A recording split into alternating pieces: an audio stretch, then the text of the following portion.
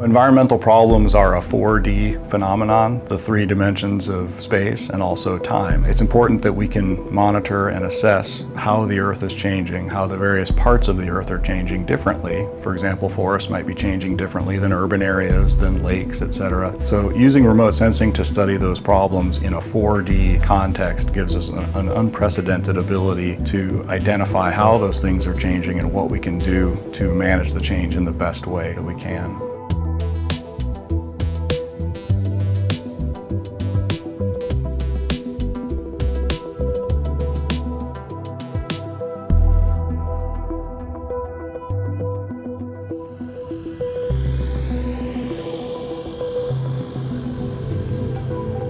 The Remote Sensing and Geospatial Analysis Lab is a group of students, staff, and faculty that are interested in geospatial research that benefits the environment.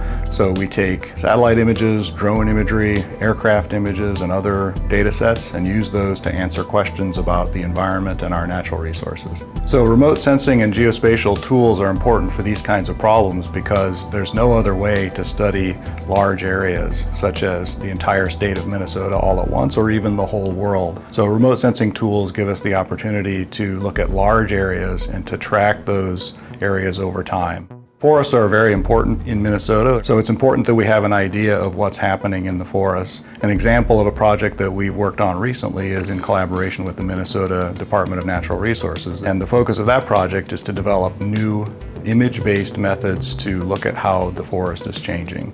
So on the scale of the state of Minnesota, there are so many stands of forest and they all are scattered around the state, fragmented by different ownerships and experiencing different challenges, threats from our environment and also from further fragmentation. So having a collaborative partnership in both understanding these resources and then doing something about it. It's too much for even the Minnesota DNR to handle completely alone. We're working toward measuring and modeling our forests in northern Minnesota, the Superior National Forest, this kind of southern boreal forest, which is one of the forest types of greatest concern for us right now because those boreal trees are, are disappearing and being replaced with other species. And so developing these techniques to create more accurate forest inventories more rapidly. When we can do those things and we can do them properly, we can react faster to those changes that are happening in the southern boreal forest.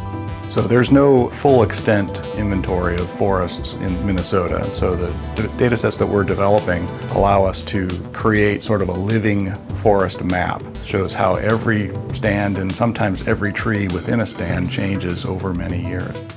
Prior to this project, the Department of Natural Resources would use manual techniques to create these forest stands and it was very labor intensive. This allows them to already have some of this info without going into the field and then hopefully target more important areas that they, they may need to look at rather than having to visit all of them and decide these are important areas they can narrow down where their field work is going and be more targeted in their efforts.